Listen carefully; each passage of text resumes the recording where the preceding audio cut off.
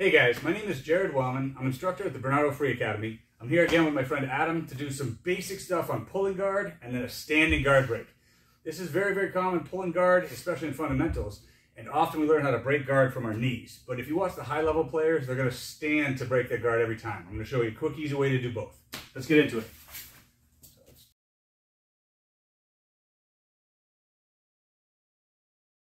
All right, guys, so a common way that we're going to look at pulling guard is I want two grips, right? I want to get a collar grip, and I want to get some kind of sleeve. So if my partner gets a collar on me, we both have the same grip. I can get an elbow, I can come here underneath, but today I'm going to use a cuff grip, okay? Or I guess you can play around with this, but I want to be at the end of the sleeve here. The reason I'm doing this is to control this arm so that my foot can go to his hip. Now Adam's going to have the same grips here, so if we turn, look, same, same. We both have a collar and sleeve, okay? A couple things to note before I pull. I don't want to be standing square. I want to make sure I have a little bit of an offset stance just so I don't get pulled and go flying, right? So once I'm here, my foot needs to go to his hip. If I'm real far away, it's hard to reach. So a common thing we teach in fundamentals is a quick stutter step where I step to shorten the distance. I load my weight on that leg and then this foot comes to the hip. Last notice, I want to think of falling to the side here on my hip and towards his foot. I don't want to sit down and hurt my tailbone. So collar and sleeve, stutter step, foot to the hip, and look, I swing down. As I come here, see how he took that step? My foot here wants to find the space by the hip. I want to elevate my hips. So I can't pull with my heel. I bring myself up. I pull everything down as I walk. I've kept the grips the whole time, collar and sleeve. So we'll do this a couple times from a couple angles. Let's do it one more time from this angle here. So look, collar and sleeve, my body's low. I'm not standing up. This is going to be a terrible way to grapple, right? So I'm low. Stutter step. I pull, I lock up high, and come right in. Hey guys, thanks for watching. Hope you liked the video. If you do me a favor and like, comment, subscribe, help supports me and the channel, really appreciate it. Thank you guys. We'll come around from this side. Same idea.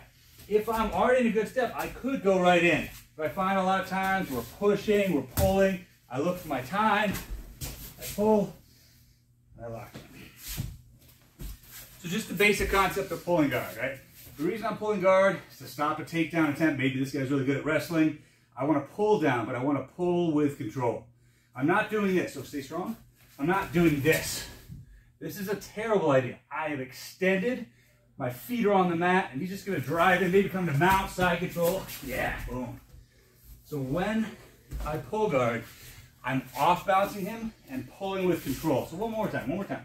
Collar and sleeve. Look, we're moving around. When I'm ready, I sit, pull, boom, and now I'm locked in. So now let's flip the script. Adam's gonna pull guard on me, and he's gonna keep that collar and sleeve. We're gonna break the grips and do our standing guard break. Nice and relaxed, he pulls guard. I'm gonna go down with him, right? Boom, we fall, and I came here. Now if I stay this extended, I'm in danger and I'm leaning forward. So a lot of times I like to use him, this arm, and I push. He's gonna keep that grip, but I'm setting myself up here. A side note, if we let go of the grips, I don't wanna be in front of his belt line. I never wanna be here looking at him. I know where he is. I want my chest up, my weight on my heels, just coming back here, okay? If I'm forward, reaching or whatever, he has access to my collar.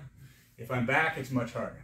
So if we fall here, I'm gonna force myself back. I can use the ribs, but he's holding onto the grips here. So it's hard. I'm trying to get up in this collar grip is the most annoying thing. So let's break that first. I'm not going to look at it because my posture is bad. Bring my head up, both hands here, and I break. Once I'm here, notice how my posture got better.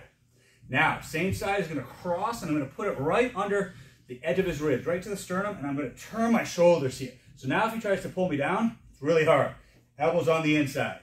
I don't want to be like this. My shoulders are square. If he pulls me down, there I go. So one more time. I fell like this, head up, chest and shoulders back. Find this grip, break right away. As I push here, shoulders back. Now he's still holding this grip, that's okay. We're gonna circle and get our own grip. Now he's gonna keep holding on. If he lets go, it doesn't matter. I don't want him to let go. So if he keeps holding on, doesn't matter to me. Now I'm ready to go. I have a push mechanism and a pull mechanism. I'm gonna step up on this side because I'm blocking this arm. I step up. Notice how my posture stays up. I don't look forward because now he's going to yank me. So one more time, I felt like this. Ah, posture first, find that grip, break, boom, right there. Circle, boom. Now I have my push-pull mechanism ready. I step up. Look how I'm strong here. Now, if I try to step up the second foot, it's really hard unless I do this. I turn. So my back foot, windshield wipers out, it turns his hip a little bit. It's a small detail, but it's a crucial detail. Now I'm leaning to this foot and stepping up. Once I'm here, posture must go up, but I can let go of this hand.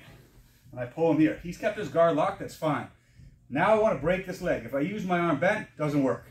I lean, look on my elbows on the inside, stiff arm, and as I drop, I keep this connection.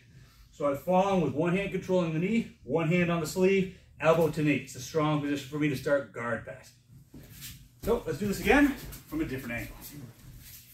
He pulls guard. We both have collar and sleeve, right? He's going to keep those grips the whole time. He pulls, boom, ah. I fall into the closed guard.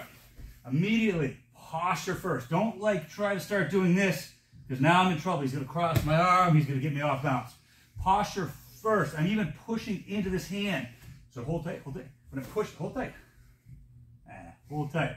I push, look, he's holding. Now, there's my break, and I set it here. Circle and find the far grip. Control the grips first. I'm not rushing to get out of the guard. If I don't have grip control, I can't get out. Now I have my push and pull mechanism. I step, rotate, big detail, up. Now I let go of this hand that's pushing on him and just pull, angle myself, clear, step back, and now I'm set up for a guard pass or whatever I need to do. So let's do one more. I'll do a guard pull, and then I'll do a guard break, and I'll end it. Collar and sleeve. Good base. Stutter step, I sit, pull, hips come up, I lock him and pull him down. I had my collar and sleeve. He does the same to me. Nice step, good. He pulls me down, boom. Right away, posture, break. Post that right on him, turn the shoulders. Circle, far side wrist, I step. Make sure I turn here. I turn like 90 degrees almost, maybe 45 degrees, I guess. I turn, I step, pull up, push hard, break open, and now I'm set to pass. Maybe I come right in here, boom, and counter. So that's it, guys. And you got him. That's just some concepts I really want you to think about is if I'm playing guard, I want to pull with control. If I'm breaking out of some of these guards, standing up is probably one of the most efficient ways to do it. Try it out. Hope you like it.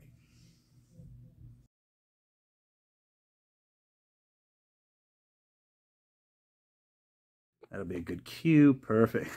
yeah. Jazz hands.